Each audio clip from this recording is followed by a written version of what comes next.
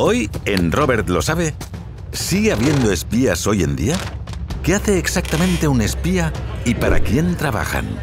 Todo esto lo descubriréis hoy en Robert lo sabe.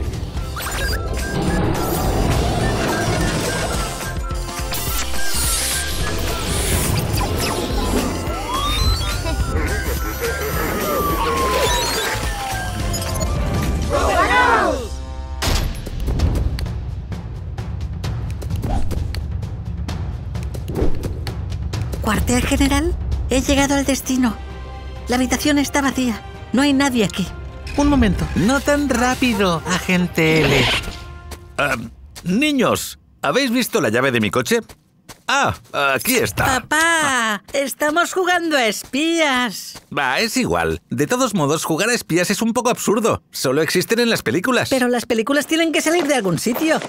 Dinos, Robert, ¿sigue habiendo espías de verdad hoy en día? Seguro que sí. ¡Wow! ¿De verdad como en las películas? No exactamente.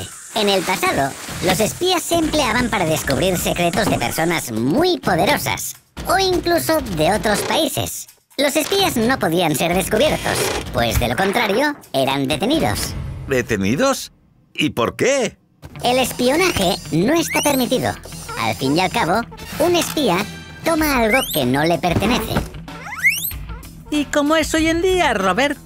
Incluso ahora sigue habiendo muchos espías. La mayoría de los países emplean espías en sus servicios de inteligencia y sus servicios secretos. Estos espías recopilan información e intentan detectar y prevenir peligros a tiempo. Para ello, comprueban todas las fuentes que puedan encontrar. Espían a personas, leen periódicos e investigan en Internet. Comunican inmediatamente cualquier indicio o pista. Para ello, trabajan de forma encubierta, es decir, fingen ser personas completamente normales. Normalmente no pueden contar lo que hacen ni siquiera a sus familias ni a sus mejores amigos.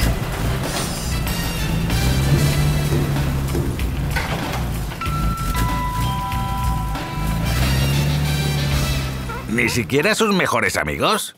No, de lo contrario, se descubriría rápidamente quién es espía y quién no. Y cuando un espía deja de estar encubierto... Entonces ya nadie más le revela sus secretos. Exactamente. ¡Qué aburrido! ¿Se pasan todo el día redactando informes?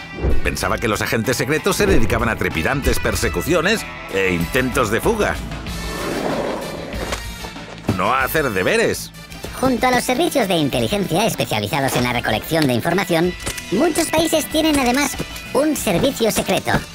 A diferencia de los servicios de inteligencia, el servicio secreto realiza también operaciones. Eso sí que mola. Este tipo de trabajo secreto es de hecho mucho más peligroso, ya que esta información no solo es secreta, sino que está mucho más protegida. ¡Qué injusto! Siempre solo los chicos pueden hacer cosas guays. Las chicas no pueden ser agentes secretas. Eso no es cierto, Lisa. Siempre ha habido agentes secretas mujeres. Ya hace 100 años, la famosa espía Matahari trabajó como agente secreta. Ah, entonces ya nada se interpone en tu carrera, hermana mayor. De cualquier modo, no contaré nada. Hasta la próxima semana, amigos.